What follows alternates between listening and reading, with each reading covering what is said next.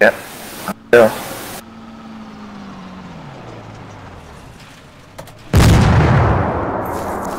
Shoot him. Didn't kill him. He's supposed to be dead.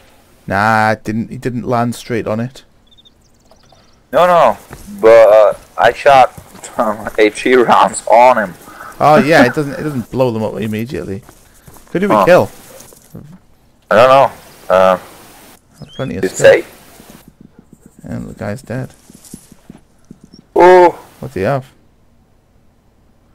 Plenty of money. What do you have? uh, if you want, there's a AA-12 here. What did that guy have? MK-17. Huh. Sniper. Um, A12. Yeah, it's a good gun. I'll take that.